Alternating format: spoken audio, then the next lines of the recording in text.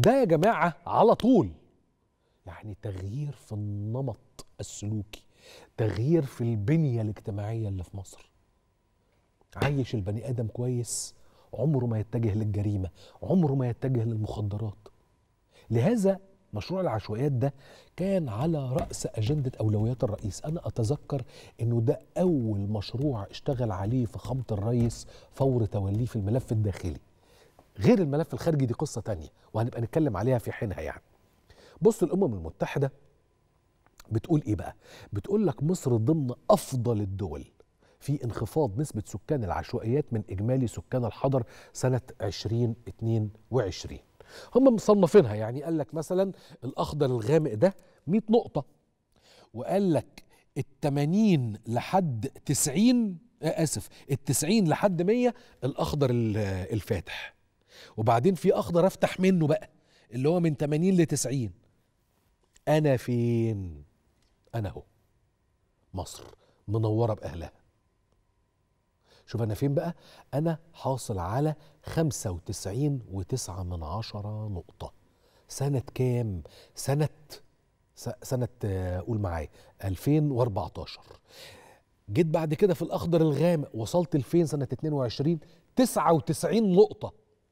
يعني أنا خفضت نسبة سكان العشوائيات من إجمالي سكان الحضر زي زي مين؟ زي دول الاتحاد الأوروبي زي زي مين؟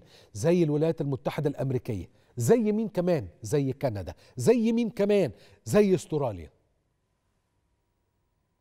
فقد إيه؟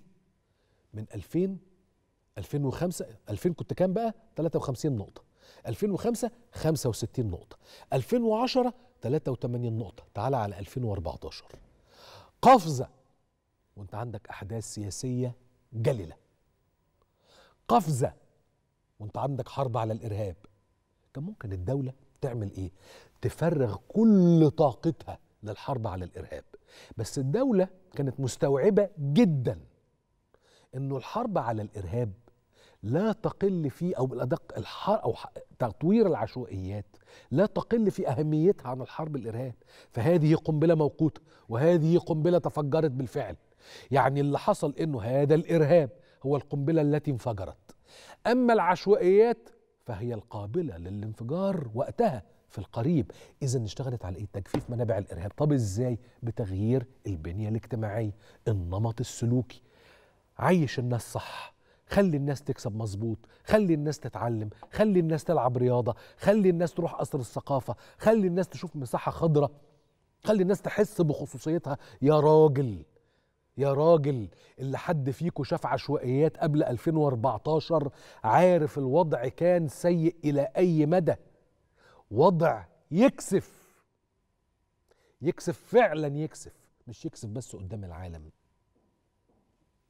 يكسف. بالظبط. هي دي.